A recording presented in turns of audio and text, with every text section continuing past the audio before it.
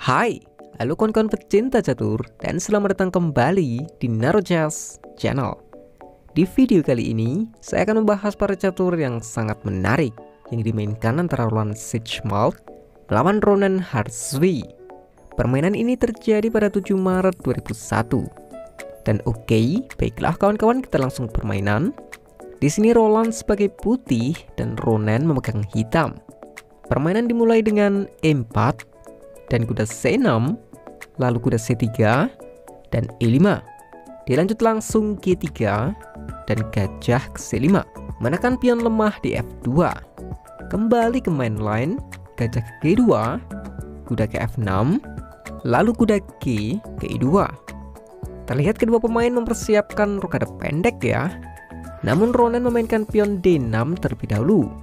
Roland juga memainkan pion ke H3 Oke, gajah ke B6, baru kedua pemain rokade pendek yang dimulai dari Roland dan tentu sama untuk Ronan.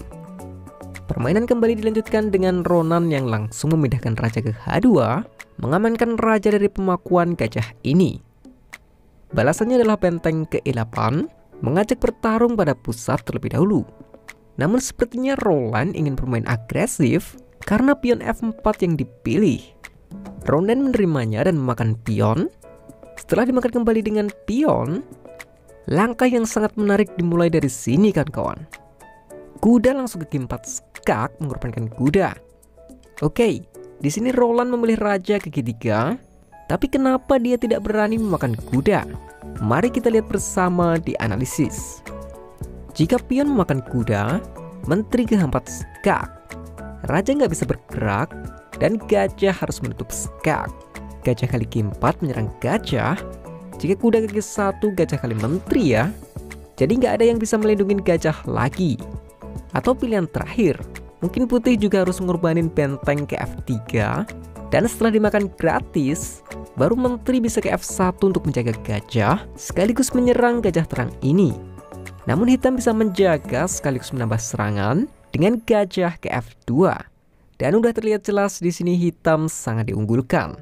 Ide pengorbanan kuda yang sangat bagus dari Ronan. Dan oke kita kembali ke permainan. Jadi di sini Roland tidak memakan kuda, tapi raja ke G3. Dan apa kalian tahu jawaban Ronan saat ini? Kuda tetap dikorbankan ke F2 kawan-kawan. Apa maksud dari gerakan pengorbanan ini? Kita lihat saja karena Roland juga memakan kuda, Bukan gajah memakan benteng guys, tapi gerakan yang sangat tidak terduga lagi yaitu menteri keempat skak kawan-kawan. Sekarang mengorbankan menteri. Ya, pertanyaan saya adalah apakah Ronan sudah mengkalkulasi ini dengan baik karena taruhannya menteri ya? Oke, di sini Roland tetap menerima pengorbanan, baru gajah makan benteng skak. Hanya ada satu jawaban terbaik, dan untungnya Roland juga menemukannya, yaitu kuda menutup skak. Tapi serangan belum sampai di sini. Benteng ke 6 ancaman yang terlihat di sini benteng G6 atau H6 skak. Tapi ide ini juga sedikit unik guys. Jika kita ngelihat adanya serangan benteng di G6 mengancam kuda dua kali, apa yang harus putih mainkan? Ya, jika putih ingin melindungi kuda, hanya ada satu cara yaitu kuda C ke E2. Namun itulah uniknya. Benteng H6 skak, Raja G5, dan pion F6 skak mat. Sebenarnya posisi ini masih menang putih guys. Tapi masalahnya putih nggak boleh melakukan gerakan salah atau blunder. Yang membuat lebih sulit, setelah saya analisa pribadi, ternyata gerakan terbaik putih di sini adalah menteri ke H5 kawan-kawan. Sangat susah menemukan gerakan itu untuk manusia normal. Oke, mungkin kalian berpikir F5 bisa jadi opsi terakhir kan? Tapi lihat konsekuensinya. Benteng ke-6 skak, raja G4, dan kuda ke-5 skak. Kita sebagai pecatur tentu tahu dan akan berusaha menghindari posisi semacam itu. Namun sayangnya, di sini Roland memilihkan raja ke G4. Oke, ini memang gerakan yang salah, tapi ini adalah gerakan natural yang sangat logis buat manusia. Lihatlah, sekarang Benteng bisa melakukan discover skak dengan gajah. Benteng gigi 6 skak untuk memenangkan kuda adalah ide yang normal di sini. Namun Ronan memilih kuda gigi 4 dulu guys. Benar-benar brilian. Kuda tidak mengizinkan raja untuk kembali berlindung kembali ke rumahnya. Dan jelas benteng G6 akan menjadi ide selanjutnya. Untuk itu Ronan memainkan pion F5. Perlu diketahui, gerakan ini lebih diutamakan untuk membuat peta lari buat raja. Jadi tetap saja benteng kaki 6 skak, pion tidak bisa memakan benteng ya, karena terpaku pada gajah. Lagi-lagi hanya ada satu gerakan terbaik, raja ke H5 guys. Dan lagi, itu sangat susah untuk ditemukan karena raja akan menjauh dari para perwira dan raja juga harus terjebak di pinggir papan lagi. Oleh karena itu, Roland memindahkan raja ke F4. Ya, engine bilang gerakan ini adalah kesalahan lagi. Tapi saya pribadi sangat maklum dengan pilihan Roland di posisi ini. Sekarang Ronan memakan kuda, tapi bukan dengan gajah, dengan benteng guys. Sangat-sangat puas. Jelas kelima adalah ide yang akan dimainkan di sini. Terakhir saya katakan, hanya ada satu gerakan pertahanan, yaitu menteri ke game 4 guys. Meskipun Roland adalah Grandmaster, tapi saya tahu betapa susahnya menemukan gerakan ini. Ya, Roland kembali blunder dengan menteri ke F1 menyerang gajah, dan ini sudah berakhir. Pion K5 skak, raja tidak bisa bergerak, Roland dipaksa memakan dengan enpasan.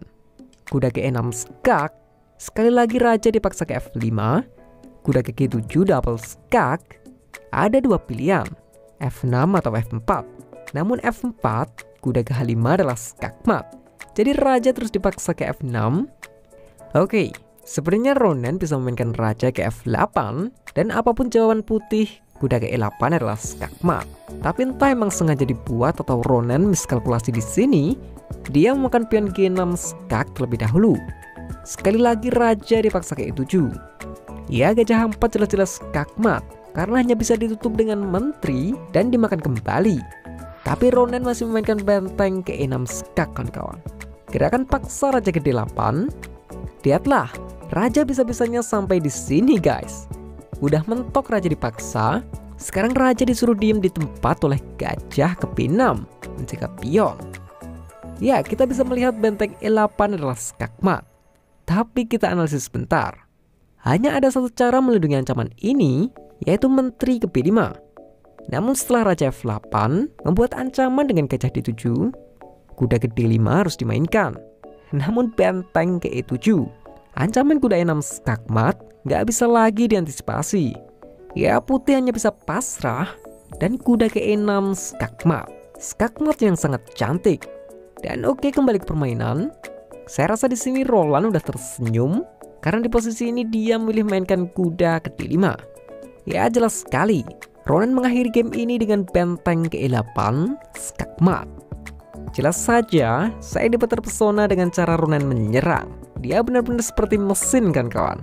Tapi apa pun itu, kedua pecatur ini adalah Grandmaster. Roland yang sebagai putih cukup kuat bisa bertahan hingga 24 gerakan. Yang lebih hebat lagi dia nggak menyerah hingga akhir kawan-kawan. Mungkin untuk menghargai ide brilian dari Ronan. Ya bisa aja kan. Inilah catur di papan mereka bertarung, tapi setelah selesai persahabatan tetap mutlak ya. Kita adalah satu. Dan oke lah kawan-kawan sekian dulu video kali ini. Semoga videonya bisa menghibur dan partainya bisa bermanfaat. Dan adanya salah kata saya mohon maaf. Salam just lovers, terima kasih